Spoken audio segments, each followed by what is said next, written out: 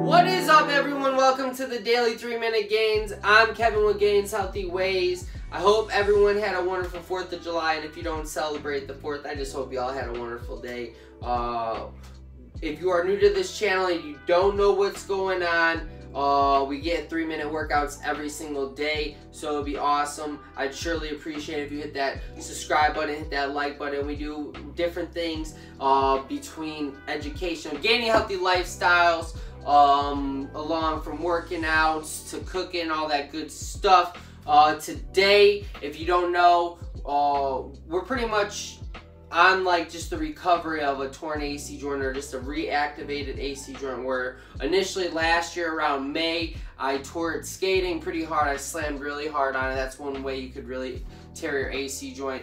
Um, and then at work the concrete guys forgot to patch the concrete and yeah I pretty much or patched the floor to the basement when they were pouring for the concrete in the basement and uh, I pretty much fell through, caught myself on the joist base.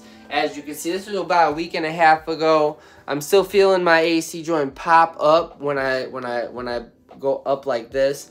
Um, it's definitely starting to feel better compared to where it was. I did go to the doctor on it last year, and they said that it's just going to take time to heal, and pretty much I just reactivated. So I'm definitely questioning going and getting it rechecked out, which I'm pretty sure I should.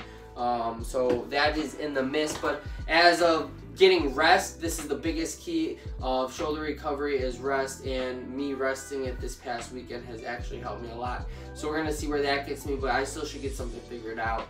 Uh, but anyways, we're to get over into this daily three minute gains.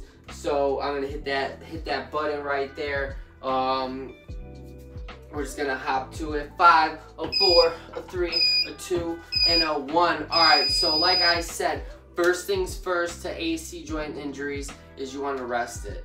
Uh, make sure you're, you're all good. You're ready to go. You're not gonna be doing any shoulder extensions, abductions, anything like that. You're not gonna be flexing it up anything like that. You want to rest it, even put it in a sling. I've been running like this at the gym and it's been horrible. I've been having to run slower. Actually, I've been mostly on the Stairmaster. Running has been hurting and aggravating it. So like I said, I've been kind of just chilling. I tried running and it's not really that, that awesome right now.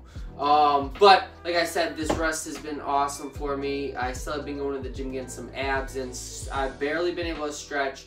Uh, one of the symptoms is back pain up in the neck uh, upper and upper back. So I have been dealing with that. So uh, we're just working through it all. We're going to a hot tub, making sure that we feel better. But resting has been huge. But we're, we're pretty much at the point where I can move it all the all over at work. I could go all the way up. So we're gonna do this. I feel confident enough to do this full workout for you because we're gonna go from the beginning stages to the end stages.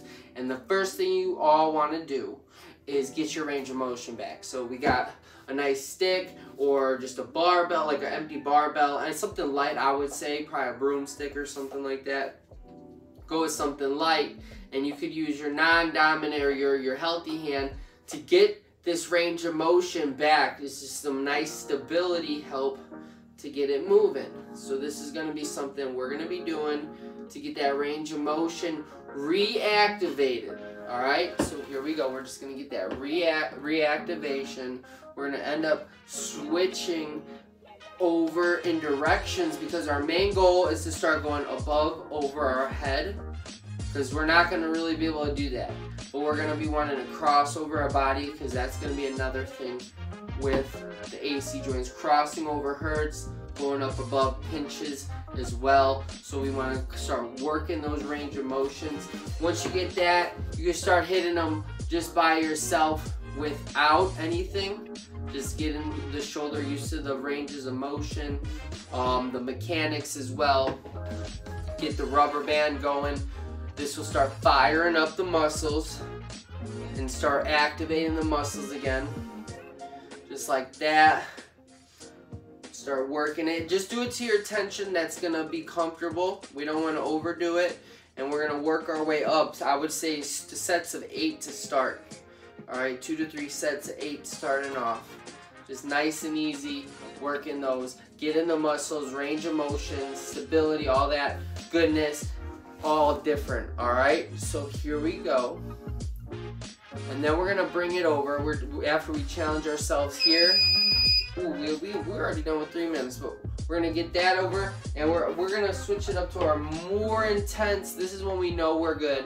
We're, we're feeling good. Our range of motion is 100%. We're able to do some tension with this right here. Now we are gonna add weight to this equation.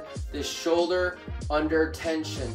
Now what we're gonna do is we're gonna make sure that our back is good sta stabilization and our shoulder has good stabilization. Before we can even go into these workouts but we're going to start doing shoulder presses up with it. And that's when we really know we're starting to get this is why uh, I haven't really been in a rush to go to an ER or anything like that but I do feel just with the popping and stuff maybe I should get this 100% figured out because I need to be lifting weights, getting them gains with y'all. But anyways, we got those. Some exercise to get us started. I know we're out of time, but as a little bonus, I'm gonna show you guys some exercise to get us started. You can just work on some external movements, just pushing out on, you could do a door, doorway, a pull, anything like that.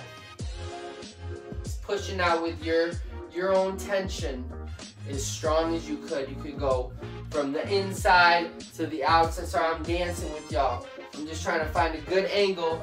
So here, I'll do it on this drum so you can see. Just pushing, pushing right here. I'm gonna feel it right here, just nice and easy. That's it.